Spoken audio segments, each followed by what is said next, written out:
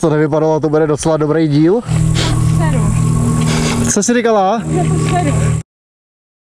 Nazdár! Čau. Vítejte u dalšího bikerského videa od začátečníků. Pro začátečníky.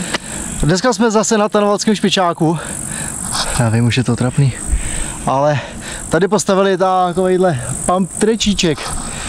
A teďka teprve uvidíte, jak strašně to neumíme. A tak pojďme se na to podívat. Jdeme drandit. Jdem drandit.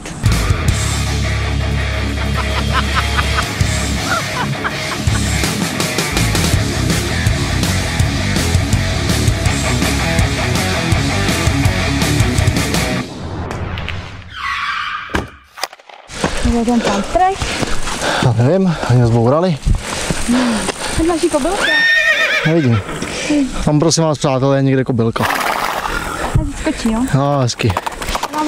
Tak, ale my tady nejsme kvůli kobylce.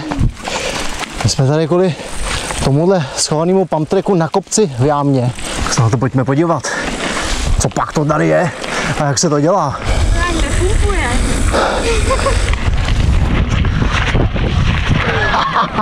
Máme se na barunku. Ona je strašně vzteklá, že jí to nejde. Já ji tady nutím. Jsme se asi třikrát pohádali kvůli tomu. Víš, místo aby ty jsi tam prostě šla si třikrát zahubskat a zapumpovala, tak hovno.